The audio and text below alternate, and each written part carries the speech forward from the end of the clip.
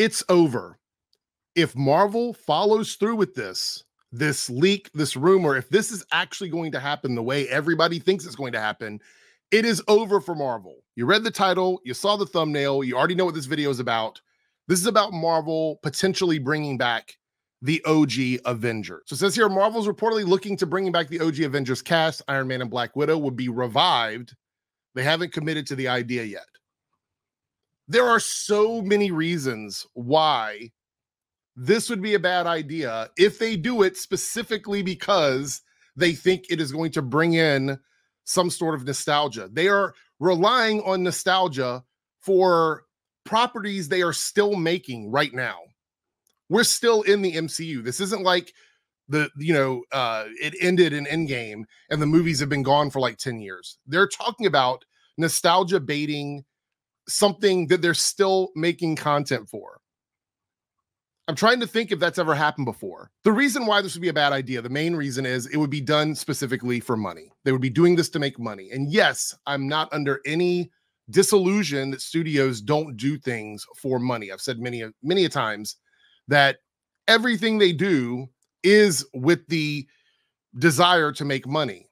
However, this particular move, bringing these characters back after giving them an ending just to make another movie with them, would be done just to make money. There is no artistic merit with this kind of nostalgia bait in the existing MCU.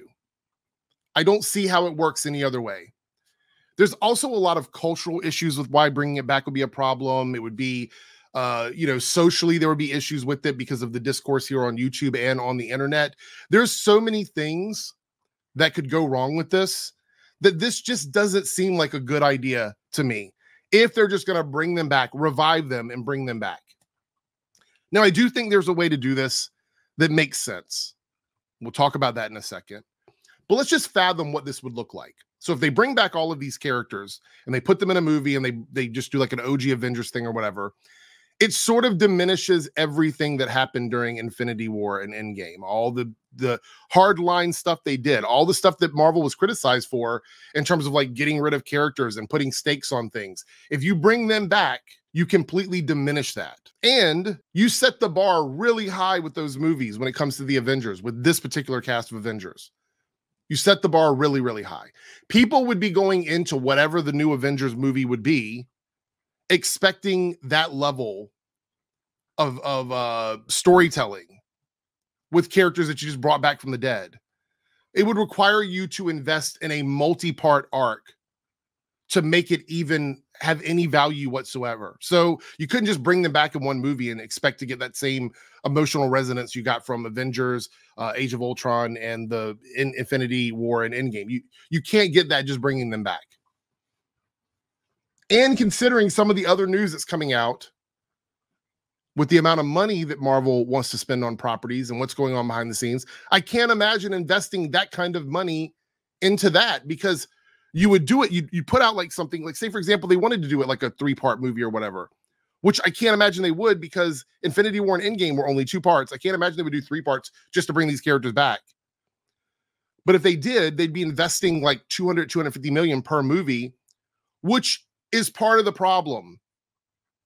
The solution to the money issue is save the big the big inflated budgets for movies for the big team up films and go back to like the one 100 million to 150 million dollar movies stop making everything as expensive as a team up like a big team up movie. There's a lot of solutions. This to me is is low hanging fruit. I can't imagine there's any artistic merit behind any of this.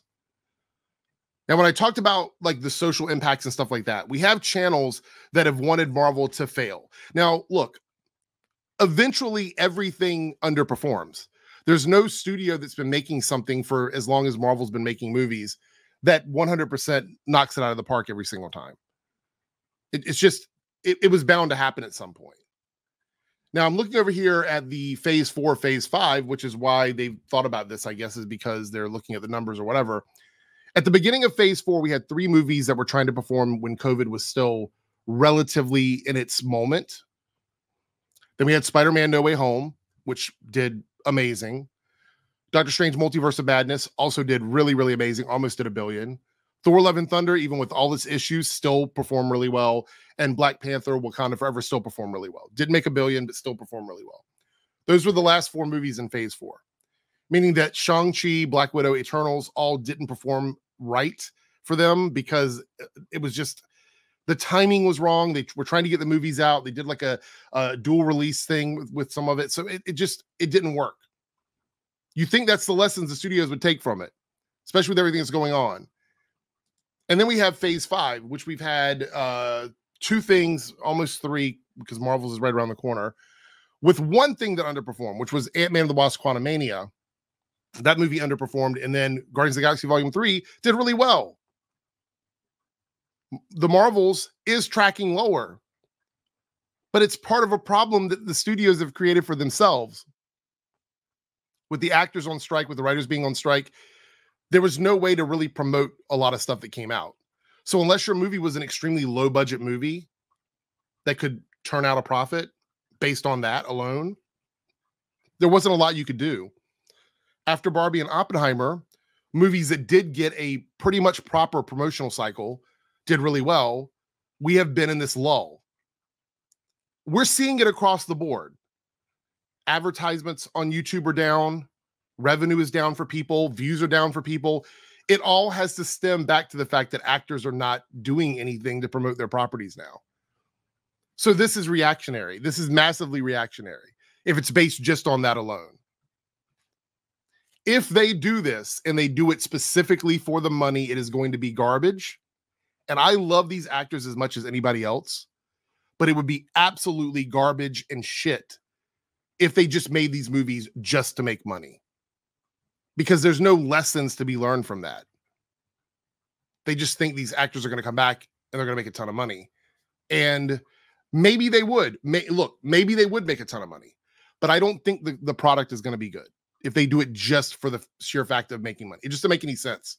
And it ruins all the stakes that they've had. There is a possibility that because of the multiverse and variants and all that, that they did already have plans to bring these characters back into the fold. That they did already assume that with everything happening at the end of phase six, that they were going to be bringing back these characters for like a one off type thing. Maybe that's what this is. Maybe that was one of the ideas they had is to bring back the Avengers for one of these Avengers movies. And with everything going on with Jonathan Majors right now, um, and all of that drama, which I'm doing a video about that as well, with all that going on, it would not surprise me that they want to draw their everybody's eyes away from that by bringing back some characters that people love to replace whatever the story was going to be with Kang. That's a possibility. Either way, I don't like this. I don't think it looks good for them. I think it looks like desperation. Uh, it doesn't feel good as somebody that loves pretty much everything that Marvel has done um, with the exception of Thor: Love and Thunder. I think that movie was not good, but everything else I've I've enjoyed. I like some of the changes coming to the TV shows. I think there's a lot of positive things that are happening. Do not go in reverse. Don't go back to doing something specifically because you think it's going to make you money because that is not quality. That is not being good to the fans. It's it smells desperate. And you're going to give a lot of these culture vultures who hate Marvel all day, you're going to give them tons of material because this isn't going to make them change their minds either. If you're doing this because you think it's going to change the hearts and minds of the people that have already thrown in the towel, you're doing it for the wrong reasons. Only bring these characters back if you think it's of value. And I just don't see that being the case.